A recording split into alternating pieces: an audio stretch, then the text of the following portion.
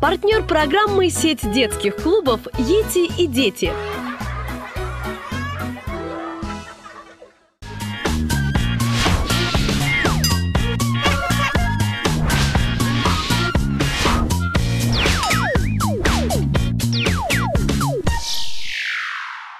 Здравствуйте, ребята!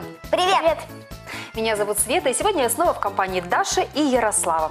Для тех, кто смотрит нашу передачу впервые, важная информация. Мы с ребятами находимся в стране безопасности, где учимся простым правилам грамотного поведения практически в любой жизненной ситуации. А еще это конкурс. И сегодня у ребят уже третий день соревнований. Ребята, с темой наших соревнований вы уже знакомы. Это правила поведения при пожаре в разных местах. Дома, у соседей, на лестничной клетке. А вот сегодня мы поговорим о том, как вести себя, если пожар случился в подвале вашего дома дома. Это тоже может быть очень опасным. Но об этом чуть позже. А пока разгадываем загадки. Я читаю вам загадки, а вы а, слова отгадки вписываете каждый в свой кроссворд, который нарисован у вас на стенде.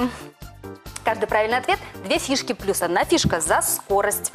Итак, Общая тема всех загадок – пожарная безопасность. У вас есть огромная подсказка. Посмотрите, каждое слово я уже отметила, с какой буквы будет начинаться. Ну что, направляйтесь каждый к своему стенду и берите в руки маркеры.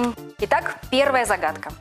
Ловко прыгнет он в окошко и спасет детей и кошку, победит огонь коварный, потому что он... Пишем! О ком речь идет в этой загадке?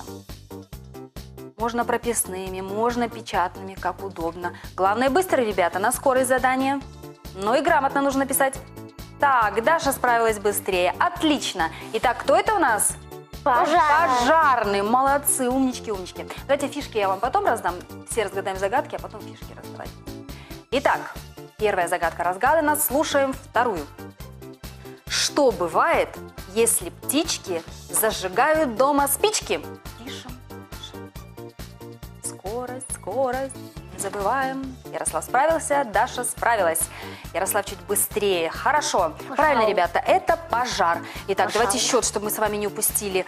У Даши в первый раз было три, у Ярослава две. Сейчас у Ярослава три, у Даши две фишки. И третья загадка.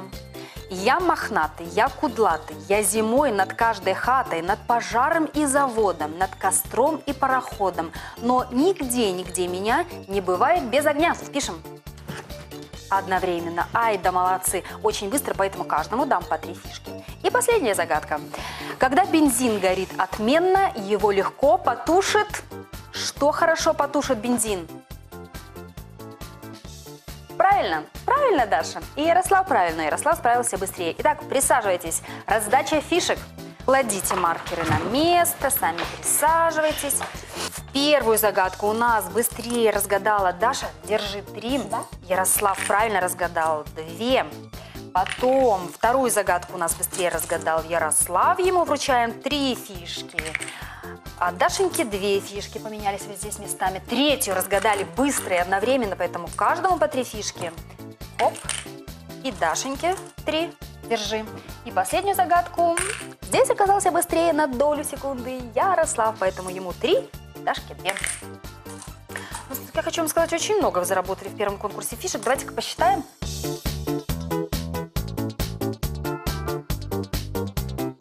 Правильно считаете? Сколько дошло? Десять. 10. У меня 11. О, О, всего лишь одна фишка разницы. Ярослава 11, Дашка 10. Отлично. Ну а сейчас самое время, ребята, для нашей третьей встречи с экспертом по пожарной безопасности тетей Машей. Итак, внимание на экран. Ребята, привет! Привет, привет. Мы с вами уже успели познакомиться. И я очень рада нашей новой встрече. Мы уже не раз говорили о действиях при пожаре в различных ситуациях. Дома, в школе, в подъезде и у соседей. А сегодня мы поговорим о действиях при пожаре в подвале. Давайте представим, что вы увидели дым, который идет из подвала в вашем доме. Что вы будете делать? Итак, ребята, что в этом случае будем делать? Дым сочится в дом из подвала. Я сначала скажу об этом взрослым, а потом возьму большое ведро воды и залью. Ого, какой ты смелый, ничего себе. Дашуля, ты. Я бы сначала позвала на помощь взрослых, а потом, чтобы не просачивалась мокрой тряпкой, обмотала все. Так, ну давайте послушаем тетю Машу, что она нам скажет. Ребята, запомните, если вы обнаружили дым, который идет из подвала в вашем доме, оставайтесь на улице. Не нужно бежать домой или спускаться в подвал. Это может быть очень опасно. Сообщите о пожаре взрослым. Если у вас есть телефон, быстро набирайте номер 101 или 112. Будьте готовы сообщить диспетчеру адрес места пожара и телефон, с которого вы звоните. Дожидайтесь приезда спасателей на улице. А на сегодня это все. Будьте всегда внимательны на своем жизненном пути. Я желаю вам успехов и, конечно, победы. Итак, ребята, остался третий финальный конкурс. Сейчас я вам объясню его правила. Если внимательно слушали тетю Машу, то быстренько все ответите. Ребята, сейчас я повешу две таблички на каждом стенде. Одну красную, одну зеленую. Вот, где наши магниты. Красненькая, зелененькая. И дам карточки вам в руки. Вам необходимо будет под красной карточкой расположить неправильные ответы, а под зеленой правильные. За правильный ответ две фишки, за скорость одна фишка. Итак, таблички на стенде. Это я вам даю в руки, держите. Итак, я читаю вопрос, а вы правильные таблички располагаете под зеленой карточкой, неправильные под красной. Если случился пожар в подвале, и вы это заметили, что надо делать? Побежали, ребята, и располагаем правильно. Пожар в подвале. Что делать? Мария Александровна очень подробно рассказала.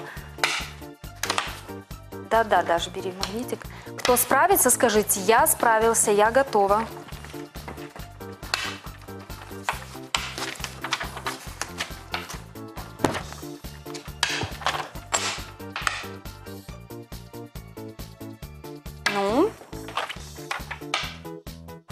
Почти, почти.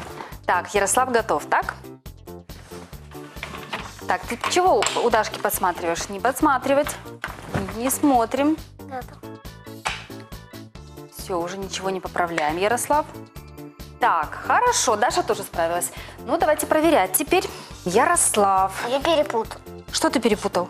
М, м, На зеленую поставил то, что не надо, на красную А, ну так это не проблема. Давай тогда мы с тобой поменяем. Передвигай сюда. Передвигай остальные. Вот так. Это ж... Сейчас мы исправим. Это не ошибка. Просто перепутал. Хорошо. Итак, что нельзя делать при пожаре в подвале? Набирать воду и быстро тушить. Правильно, нельзя этого делать. Спуститься в подвал, посмотреть, что происходит. Категорически запрещается. Ты это понимаешь. И это главное. Молодец. Здесь позвонить по телефону 103. Думаешь, при пожаре э, по, по телефону 103 куда мы звоним, Ярослав? Скоропу. Правильно. А в пожарную по каким номерам? 101. И? 112. Хорошо. Просто немножко, наверное, подзабыл, хотя ты все знаешь. Но ничего, этот ответ мы не засчитаем тебя, остальные сейчас проверим. Сообщить о пожаре взрослым. Верно. Оставаться на улице тоже правильно. Ждать приезда спасателя на улице. Все правильно. Итак, правильных ответов у тебя 5, поэтому за каждый правильный ответ две фишки. Ну а сейчас проверим, как Даша справилась с заданием. Итак, красная табличка. Позвонить по телефону 103. Нельзя звонить, так? Набирать воду быстро тушить тоже, особенно детям, ни в коем случае без пожарных. Ждать приезда спасателя на улице. Так, это правильно. Оставаться на улице тоже верно.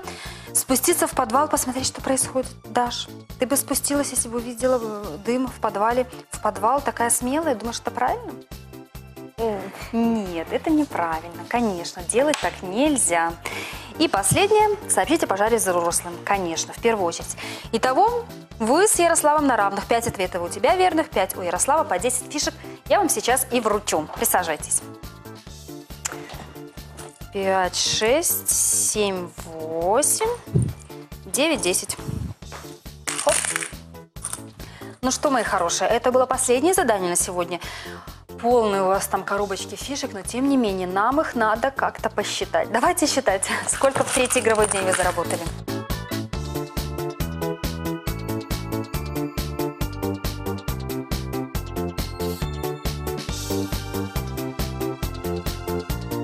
Двадцать две. 20. И у Даши 20. Отлично, очень много фишек. Хорошо, ребята, отлично мы сегодня поработали, много чего вы знаете. Я очень рада то, как вы справились с моими заданиями сегодня. Ну что ж, Сегодня третий игровой день. Завтра, ребята, финал. Так что готовимся, встречаемся завтра и определяем, кто же станет победителем. А пока до встречи в стране безопасности. Пока-пока. Пока-пока.